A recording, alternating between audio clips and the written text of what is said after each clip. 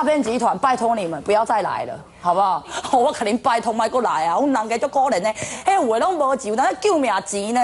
在直播上大力抨击诈骗集团，知名直播主丢丢妹提醒观众不要上当。原来她的粉砖被诈骗集团冒用名称，已经有好几个观众受骗，而现在幕后的骗子终于落网。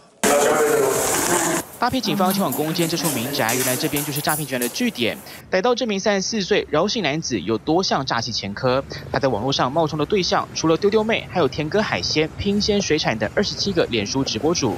他会先创立同名的假账号混淆，并埋伏在观众群中观察谁得标，主动密他要求对方照流程付款，或是告诉观众被挑选为 VIP 有礼物拿，要求填写资料骗取信用卡资讯再盗刷，至少上百人受害，诈骗金额超过六百万。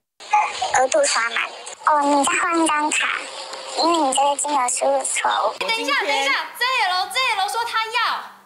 直接直购吗？七九九九九，我要。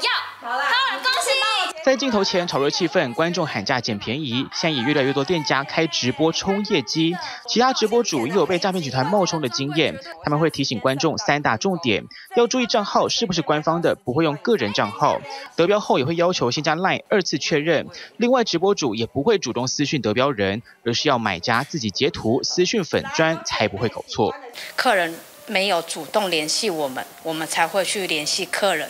但我们所有的流程一定都是透过公司的账号或者是公司的 Line，绝对不会有个人的账号出现。其实脸书直播粉砖都有加以提醒，不是官方的账号都不要理会。民众在付款前可要张大眼睛看清楚，多重确认，才不会让钱落入冒牌货的口袋里面。TVB 新闻吴继成关于太有的。请支持专门报道国际新闻的全新 YouTube 频道 TVBS 国际 Plus，扩大视野，掌握趋势。邀请您订阅并且开启通知小铃铛。